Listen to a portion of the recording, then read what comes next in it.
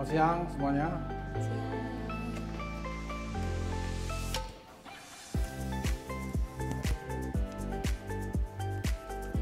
Baik, hari ini kita lanjutkan dengan suatu kuliah tentang sistem dan model ya pada sesi 3 ini di mana kita akan mencoba untuk menjelaskan mengenai metodologinya di mana seperti kita ketahui dalam pendekatan sistem ada dua metodologi yaitu hard system methodology dan soft system methodology ada dua buku yang silakan nanti bisa menjadikan referensi.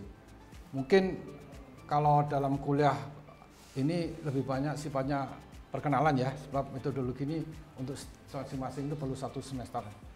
Uh, namun paling tidak Anda bisa mendapat gambaran kalau kita mau menerapkan uh, kajian sistem metodologinya sudah tersedia dan nanti kita akan jelaskan betapa sebenarnya uh, kemudahan-kemudahan sudah bisa dilakukan melalui uh, yang disebut dengan paket program. Jadi kita nanti tinggal running aja suatu apa metodologi pada uh, paket-paket uh, program tertentu. Teori sistem itu mempunyai beberapa karakteristik dan saat ini saya mau menyampaikan ada empat hal yang sangat penting. Yang pertama bahwasanya sistem itu punya komponen, punya subsistem dan sub-subsistem. Kita berada di mana pada saat kita melakukan kajian itu harus jelas apakah berada pada makronya atau pada mikronya. Kemudian yang kedua yang ingin kami sampaikan itu bahwasanya sistem punya boundary namanya. Boundary itu batasan ya. Jadi kalau kita mau mengkaji sistem manajemen lingkungan hutan, itu tidak bisa kita lihat hutan seluruh Indonesia. Kita melihat misalnya hutan di Sumatera. Di Sumatera pun kita lihat itu terlalu besar apa itu uh, geografisnya, maka kita lebih sempitkan lagi boundary-nya menjadi misalnya uh, apa Taman Kerinci Seblat misalnya, sistem kehutanan yang ada di Taman Kerinci, Taman Nasional uh, Kerinci Seblat. Nah, ini boundary ini ditetapkan pada saat kita sebelum melakukan uh, kajian. Yang ketiga adalah purpose, artinya tujuannya apa? Kalau kita bicara soal uh, sistem hutan alam ya, itu tujuannya adalah untuk supaya biodiversitasnya masih dijamin gitu ya. Pertumbuhan flora dan fauna yang mempunyai karakter khusus itu itu uh, tidak punah gitu. Nah ini tujuan yang merupakan salah satu upaya untuk merekayasa sistem uh, taman nasional tersebut. Kemudian tentu saja kita tadi sudah mengetahui adanya input dan output uh, dan ke mana input dan output itu diukur kinerjanya. Yang terakhir uh, apa namanya uh, sistem sebagai suatu kesatuan itu tidak bisa dipecah-pecah gitu ya. Jadi kalau seperti makan gado-gado itu tidak mungkin kita itu bisa makan apa uh, kacangnya dulu baru makan sayurnya baru makan kerupuknya tapi merupakan suatu bentuk yang utuh ini namanya gado-gado sebenarnya uh, sistem itu hampir sama dengan ilmu gado-gado, rujak atau segala sesuatu yang sifatnya kalau di Sunda karedok ya. Lanjut. Nah, di dalam uh, apa melakukan suatu isu analisis tersebut mungkin uh, bisa kita gambarkan secara lebih mudah untuk melihatnya yaitu kalau dari sisi kiri mengenai kompleksitasnya kalau sebelah kanan itu partisipasinya atau istilahnya itu uh, stakeholdersnya. Apa yang disebut dengan hard system thinking itu adalah pada saat kita partisipasinya seragam ya, misalnya semua teknik, semua atau semua hutanan, semua gitu ya. Uh, kemudian persoalannya juga simple, misalnya tadi mendesain mengenai apa uh, taman nasional itu kita bisa pakai hard system thinking. Tapi begitu kita melihat kompleksitasnya sudah makin tinggi, bahwasanya di hutan tanaman apa uh, industri ataupun pendekatan dengan taman nasional itu ternyata wilayah itu uh, uh, ada ada yang tumpang tindih, maka kita harus menggunakan suatu pendekatan yang lebih kompleks dan biasanya kita kenal dengan pendekatan sistem dynamics itu bisa dijadikan apa tools ya untuk mengkaji mengenai teori-teori kompleksitas. Sementara kalau partisipasinya majemuk, jadi tidak saja dilihat dari segi apa namanya itu uh, penduduk setempat, tapi juga melihat investor misalnya dari uh, luar untuk melakukan uh, apa industri kehutanan di situ, maka kita harus memakai soft system approach ya. Nah yang paling sulit itu yang sebelah kanan dan ini sampai disebut dengan postmodern system thinking itu uh, mungkin uh, belum saatnya kita diskusikan. Yang jelas apa yang terjadi dengan post COVID-19 itu akan berada di sebelah kanan, yaitu kompleksitasnya itu harus resilient, harus sanggup uh, beradaptasi dengan lingkungan selalu berubah dengan cepat. Ya kita tahu ini uh, hari ini seperti itu, kemudian uh, apa lusa seperti begini. Nah ini perubahan-perubahan sangat cepat ini hanya bisa di apa itu di uh, dianalisis ya dengan metode-metode uh, yang mungkin suatu saat kita kenal dengan namanya artificial intelligence. Nah, untuk ilmu sistem itu sendiri ada empat tipe ya, empat tipe paradigma yang mudah-mudahan bisa membuat kita menjadi lebih mengenal mengenai teknik dan metodenya. Yang pertama adalah tipe A yang disebut dengan fungsionalis paradigm. Tujuannya adalah bagaimana kita meng, meng, mengembangkan suatu upaya pencarian tujuan dan biasanya goalsnya itu adalah efisiensi dan efikasi. Umumnya ada di uh, kelompok bisnis. Yang kedua adalah interpretatif paradigm. Ini uh, apa namanya? Tujuannya adalah bagaimana kita melakukan eksplorasi terhadap berbagai macam manfaat.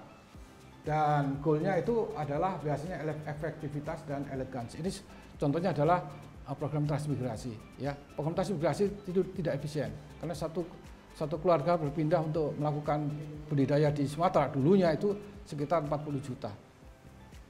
Itu tidak bisa masuk sebagai ukuran efisien. Tapi kita perlu karena diperlukan suatu apa yang disebut dengan uh, pemerataan uh, pertumbuhan maupun istilahnya itu demografisnya bisa lebih uh, menjamin ya bineka tunggal ika tadi. Jadi ada persoalan-persoalan yang sudah uh, tidak matematik lagi gitu. Nah, yang tipe selanjutnya tipe C itu adalah emancipatory paradigm. Ini uh, apa namanya? Kecenderungan menuju pada fairness. Fairness itu uh, keadilan. Kalau di dalam perdagangan kita kenal namanya fair trade ya, perdagangan yang adil. Maka muncullah apa uh, persoalan-persoalan menyangkut etika dan emansipasi. Misalnya uh, apa itu uh, sistem perkembangan industri rumahan yang hampir 80% adalah tenaga kerja wanita, maka itu masuk pada konsep gender uh, mainstream. Nah ini sudah mulai masuk yang uh, strategiknya sudah ke arah makro. Yang terakhir, nah ini sekali lagi ini kembali masuk postmodern, jadi uh, mungkin setelah uh, era pandemi selesai ini kita harus menghadapi suatu paradigma baru ya di mana kita mempromotkan diversity, memberikan promosi terhadap keberagaman, di mana uh, persoalan-persoalan menyangkut eksepsi emosi menjadi penting. Nah, pada saat di sinilah kita melihat perlunya artificial intelligence dan postmodern system thinking. Mungkin uh, kami pun sedang dalam taraf mengkaji hal-hal yang terkait dengan tipe D ini. Lanjut, balik kepada uh, tadi mengenai metodologi. Jadi seperti kita ulang lagi, ada hard system metodologi, ada soft system metodologi. Saya kira kita akan membahas mengenai hard system thinking ya sebelum kita membahas mengenai soft system thinking. Di mana di dalam hard system approach itu kita ada suatu metode-metode yang sudah terstruktur. Misalnya uh, program linier ya, kemudian PPIC, kemudian apa itu uh, teori antrian, segala semacam itu yang kita pelajari di penelitian operasional. Oleh karena itu, uh, hard system approach ini biasanya dilakukan oleh para ahli sistem engineering, ahli teknik sistem yang mempunyai suatu keahlian di bidang matematik maupun model-model yang sifatnya numerik.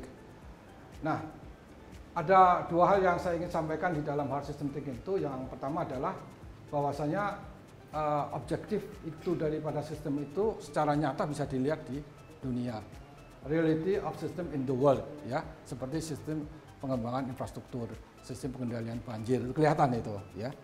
Nah, kemudian uh, well defined problem to be solved. Jadi kita sudah tahu persoalan-persoalan menyangkut apa yang perlu dicari solusinya. Misalnya tadi mengenai uh, sistem pengendalian banjir. Jelas itu bagaimana kita mencari solusi agar pada masa-masa uh, apa uh, hujan nanti itu tidak terjadi banjir yang menyebabkan uh, kerusakan. Nah, itu jelas well defined problem to be solved. Karakter daripada HSM itu adalah rasional thinking. Kenapa? Karena dia harus pakai matematik sebagai toolsnya. Dia harus menggunakan numerical analysis. Ya, dan di sini memang kadang-kadang uh, banyak yang mendapatkan kesulitan ya karena belajar matematik itu sudah bukan matematik aljabar, sudah tingkat kalkulus ya, sudah differential equation dan seterusnya. Ya. Kemudian keunggulan daripada uh, rasionalisasi itu tujuannya jelas, masalahnya juga jelas, alternatifnya jelas, lebih terukur dan lebih berpola. Kelemahannya ya, kelemahan daripada uh, pendekatan HSM ini adalah lebih sulit algoritmanya lebih sulit daripada uh, yang biasa kita pakai untuk uh, perhitungan-perhitungan aljabar. Ya, kemudian yang kedua memakan waktu dalam prosesnya dan selalu dianggap rumit. Ya, Anda kalau membuka uh, matematika dari teori-teori penelitian operasional itu tidak gampang. Ada manipulasi matriks ya dan sebagainya. Tapi saya kira itu bukan suatu hal yang tidak bisa dipelajari. Saya kira itu bisa dipelajari. Nah, taraf-taraf penerapan ASM ini, kalau boleh saya sampaikan secara runtun, yaitu formulasi perihal dan permasalahannya, kemudian mengkonstruksi model matematik yang mempresentasikan sistem yang sedang dikaji, menetapkan solusi dari model tersebut, kemudian ada validasi model. Jadi setiap model yang kita sudah desain itu harus dicari validasinya. Kemudian setelah kita mendapatkan validasi, kita membuat pengendali terhadap solusi. Jadi ada semacam feedback control namanya. Nah, saya kira ini adalah tahapan-tahapan penerapan ASM yang mungkin kalau di dalam uh, satu pendalaman lebih lanjut yang membutuhkan uh, kurang lebih satu semester untuk berbagai macam teknik yang tadi sudah disebutkan. Lanjut. Nah, si satu sisi lagi ada soft system thinking, ya toh. Apa bedanya? Ya, bahwasanya uh, dia melihat asumsi daripada SSM itu Organizational problems are messy and poorly defined. Segala sesuatu yang persoalan menyangkut kelembagaan itu pasti ruwet, pasti uh, apa itu definisinya sangat tidak terstruktur gitu, poorly defined. Nah ini membutuhkan uh, soft system thinking. Yang kedua, uh, stakeholders interpret problems differently, no objective reality. Jadi masing-masing stakeholder itu punya cara berpikir sendiri-sendiri. Contohnya kalau kita melakukan suatu organisasi penyelamatan apa namanya itu uh, uh, bencana alam gitu ya. Mungkin pemikiran orang LSM sama pemikiran uh, apa uh, uh, pemerintah atau pemikiran juga para donatur itu mungkin punya persepsi yang beda-beda terhadap uh, penanggulangan bencana. Nah ini persepsi seperti itulah oleh soft system thinking kemudian dijadikan suatu uh, apa kesimpulan-kesimpulan yang bisa disetujui bersama dalam istilah yang ilmiah namanya konsensus ya itu lanjut Nah, karakter daripada SSM ini adalah interpretasi. Bagaimana kita me, me, apa, memahami ya suatu perihal yang sedang kita kaji dan mencari suatu modelnya. Ini model soft system methodology oleh Checknall sangat terkenal. Kalau Anda nanti ingin mendapatkan uh, eh, S3 itu bisa pakai ini sekali jalan jadi itu. Uh, di beberapa perguruan tinggi sudah bisa dijadikan uh, tools untuk penelitian uh, disertasi. Ya, yang penting bahwasanya dari suatu situasi yang problematik dia bisa mencari definisi akarnya, kemudian membuat model konsep konseptual dan pada akhirnya semua kegiatan itu adalah bagaimana kita memperbaiki ya situasi yang apa yang terjadi ini uh, jalurnya ya.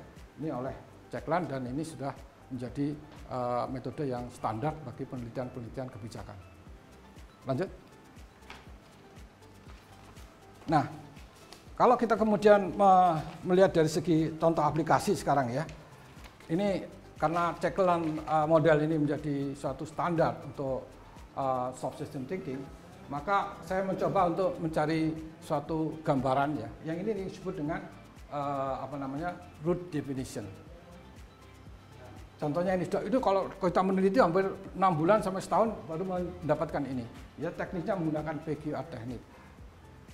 Hasilnya ini seperti ini, membangun sistem pertanian kerakyatan yang berkelanjutan dengan mengoptimalkan lahan secara lestari dan beradaptasi terhadap dampak perubahan iklim tanpa mengurangi pesaing daya saing global di pasar dunia untuk tercapai kemandirian pertanian khususnya pangan dan energi. Ini nggak gampang bikinnya itu. Kalau di DPR bisa uh, berapa bulan untuk debat untuk ngisi definisi ini. Tapi dengan SSM itu bisa dibantu. maka muncullah yang namanya root definition. Dengan root definition ini kita akan melangkah menuju kepada yang kita sebut sebagai rich picture atau gambaran secara uh, utuh dari uh, persoalan yang kita hadapi. Mungkin kita bisa lanjutkan. Ada uh, pertanyaan? Ya, saya gimana? boleh bertanya? Silakan, silakan. Gimana? Uh, bagaimana cara untuk menerapkan uh, metodologi sistem untuk menelaah manajemen lingkungan alam dan lingkungan kehidupan yang sangat kompleks. Dan juga uh, apakah soft system metodologi bisa digunakan untuk membuat model kebijakan? Uh, satu lagi prof. Ya. bagaimana ya cara membuat risk picture okay. yang seperti di depan itu? Uh, satu pertanyaan yang bagus ya dan cukup rumit ya. Saya coba untuk menjawabnya secara lebih sederhana. Sebagai contohnya adalah risk picture dari sistem pertanian kerakyatan yang berkelanjutan ya uh, ada tiga hal yang mungkin kita perhatikan dalam menyusun suatu risk picture atau katakanlah sebagai suatu upaya untuk mengenal sistem itu lebih lebih lanjut. Dengan teknik SSM kita bisa mendapatkan yang yang kuning-kuning tadi itu adalah suatu konflik of interest. Pertama, kita lihat untuk sistem pertanian itu ada konflik di lahan produksi, Kemudian ada globalisasi dan hal adalah perdagangan-perdagangan misalnya bawang putih kita harus impor dan sebagainya itu adalah merupakan pengaruh terhadap terjadinya sistem pertanian yang kita kendaki. Dan tidak kalah pentingnya adalah persoalan menyangkut perubahan iklim. Dalam perubahan iklim ini indikator untuk pengolahan-pengolahan apa itu perkebunan dan sebagainya menjadi sangat dipengaruhi. Nah, perubahan iklim, konflik lahan produksi dan globalisasi ini kemudian dijadikan suatu apa input pada sistem yang sedang berjalan.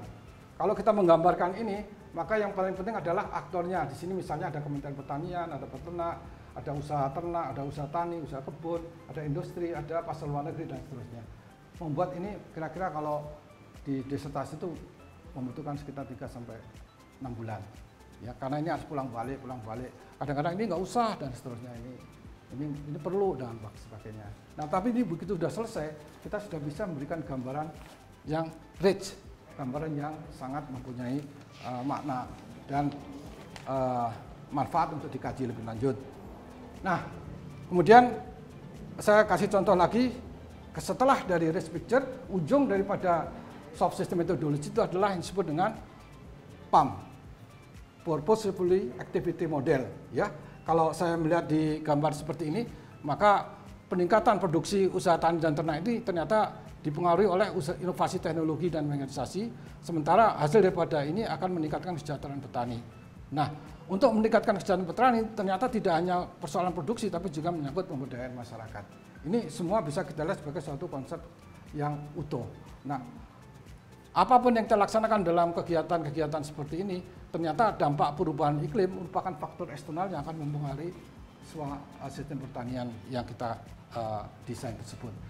Nah, mungkin dengan apa namanya tindakan-tindakan yang termasuk uh, bagaimana indikator kinerjanya, bagaimana tindakan alternatif dari pemerintah itu semua nanti diuraikan dalam satu uraian-uraian yang uh, menghasilkan kesimpulan-kesimpulan dan saran. Ya, saya kira uh, ini semua merupakan suatu uh, konsep yang terintegrasi dan tidak bisa dilaksanakan oleh satu orang. Biasanya dilaksanakan oleh satu tim, ada ahli pertaniannya, ada ahli bisnisnya, ada ahli sosialnya, ada ahli pemberdayaan masyarakat, ada ahli perdagangan luar negeri, dan seterusnya. Mereka itu berkumpul dalam satu teamwork, kemudian ilmu sistem menjadi seperti instrumen untuk memaduserasikan mereka, keinginan mereka, cara berpikir mereka dan sebagainya. Karena ini tidak bisa dimatematikan, maka ini merupakan satu konsep yang terkait dengan yang kita sebut knowledge based system. Sistem yang berbasis pada pengetahuan. Nah, saya kira ini sebagai pengenalan mungkin cukuplah kita bisa melihat itu untuk langkah-langkah ke depan dan kita bisa lebih terbuka lagi dengan ilmu-ilmu baru termasuk ilmu sistem atau sistem sains. Mungkin uh, sebagai penutup saya akan bisa sampaikan tiga karakter yang harus kita hadapi pada masa-masa yang akan datang, yaitu pertama adalah kita kalau ingin belajar mengenai kesisteman, kita harus menguasai matematika lanjut, advanced mathematics. Musuhnya adalah diferensial dan uh, integral equation, dan tentu saja pendekatan-pendekatan disebut dengan numerical analysis. Ya, saya kira itu uh, mudah-mudah sukar gitu ya. Kalau saya sih merasa mudah-mudah mudah, tapi ada yang memang sudah dari awal sudah tidak suka sama matematik jadi sukar. Yang kedua adalah computer application ya karena tidak bisa tidak semua aplikasi daripada model-model tadi disebut uh, tidak mungkin dicerna oleh otak manusia jadi harus dibantu oleh uh, computer application. Yang terakhir karena adanya digital transformation, digital komunitas yang sekarang berada pada uh, sekeliling kita ini, maka artificial intelligence itu adalah wadahnya. Mudah-mudahan nanti kalau kita kesempatan selanjutnya kita bisa lebih menggali mengenai artificial intelligence. Itu masa-masa di mana kita akan berhadapan dengan uh, suatu era yang penuh ketidakpastian, disruptif, dan saya kira kita harus bertahan dengan uh, apa uh, apa yang kita punya. Mudah-mudahan itu menjadi bagian dari pembangunan ekonomi yang berkelanjutan. Saya kira mungkin kuliah saya sekarang cukup ya. Nanti kita mungkin masuk pada hal-hal yang sifatnya lebih teknik ya dan menjadi bagian daripada kemampuan kita, kapabilitas kita. Terima kasih perhatiannya dan uh, sampai jumpa di kelas lagi.